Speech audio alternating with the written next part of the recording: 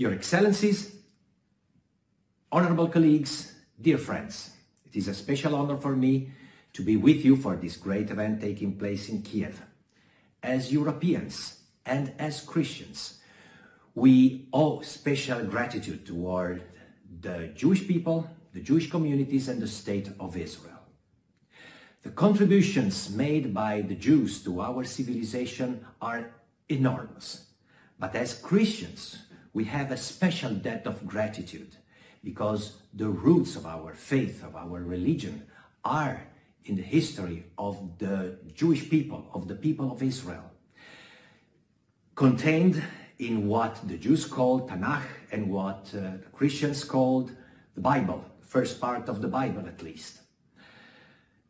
And we owe even more this friendship, this solidarity, because of all the persecutions that have taken place in the last 2000 years, when Christians have persecuted Jews not only they committed a crime, not only it was against humanity, but it was against our own faith because it showed that we hadn't understood the meaning of our beliefs. But the solidarity should not remain just in the good speeches, which are good things, but in the action. For instance, in the last two weeks, we collected the signatures of members of all parties, members of parliament of all parties, for a letter to the Italian Minister of Foreign Affairs, asking him something very specific.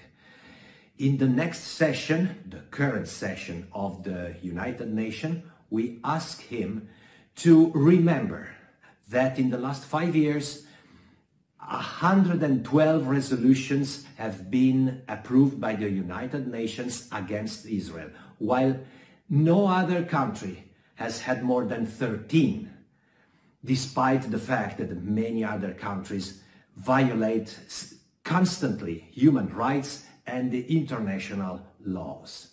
So not only we ask him, as should be asked to all the Minister of Foreign Affairs, not only we ask him to consider the content of each resolution that will be proposed, a content that usually is unacceptable and, uh, and false in its statements, but also to keep in mind that we should stop this uh, special standard, special, uh, special attention, bad attention toward Israel, because that is against what is right, it is against the purposes of the United Nations, and it is against the truth. When a UN resolution, for instance, denies the ties of the Temple Mount with the Jewish people, not only they are against the truth, not only they are against the Jews and against the land and the people and the state of Israel, but they are against the Christians because on that mountain, on that hill, Jesus went to worship and to pray at the temple with his followers. So we must uh, love the truth. We must remember that we are brothers Christians and Jews are brothers. And the elder brother is the Jewish people.